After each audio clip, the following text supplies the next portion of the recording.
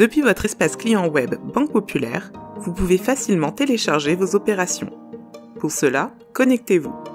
Choisissez le compte dont vous souhaitez télécharger les opérations.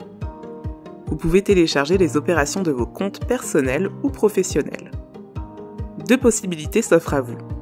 Soit vous cliquez sur le bouton Gérer puis Télécharger les opérations dans le menu déroulant, soit vous cliquez directement sur le compte concerné. Une page s'ouvre avec l'ensemble des opérations. Vous pouvez alors sélectionner Télécharger les opérations à droite de l'écran. Vous êtes ensuite invité à choisir le format du fichier, la période souhaitée, le type d'opération, à savoir vos opérations ou vos facturettes, le format de date souhaité, le séparateur de champ, le séparateur décimal. Pour une meilleure lecture, nous vous conseillons de sélectionner le séparateur de champ point-virgule. Lorsque vous êtes prêt, cliquez sur le bouton Télécharger.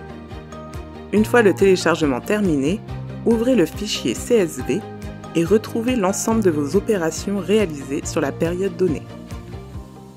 Ce fichier vous indique la date de l'opération et sa date de comptabilisation, sa catégorie, son libellé, son montant et si elle a été pointée ou non. Si vous voyez apparaître un 1, cela signifie que votre opération a été pointée. A contrario, le 0 signifie que l'opération n'a pas été pointée.